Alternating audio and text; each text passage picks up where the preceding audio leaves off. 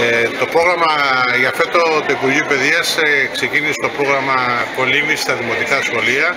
Ε, αφορούσε το πρόγραμμα την τρίτη τάξη του Δημοτικού.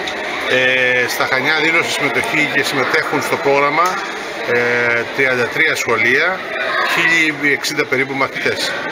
Ε, κατά τη διάρκεια της σχολικής χρονιάς ε, χωριστήκαν σε, ε, χωρίσαμε τα σχολεία σε τρεις περιόδους, ε, τρία τρίμηνα ας το πούμε έτσι.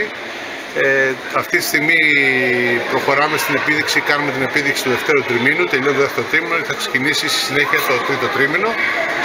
Ε, είμαστε ικανοποιημένοι από το μεγάλο αριθμό των παιδιών. Ε, δεν μπορούμε να δεχτούμε άλλα παιδιά δυστυχώς. Ε, ελπίζω την επόμενη χρονιά να έχουμε τη δυνατότητα να δεχτούμε μεγαλύτερο όγκο παιδιών γιατί το έχουν ανάγκη τα παιδιά, χρειάζεται να μάθουν τα βασικά από την κολύβηση και ώστε να αντιμετωπίσουν κάποια προβλήματα πιθανόν στους καλοκαιρινούς μήνες στη θάλασσα.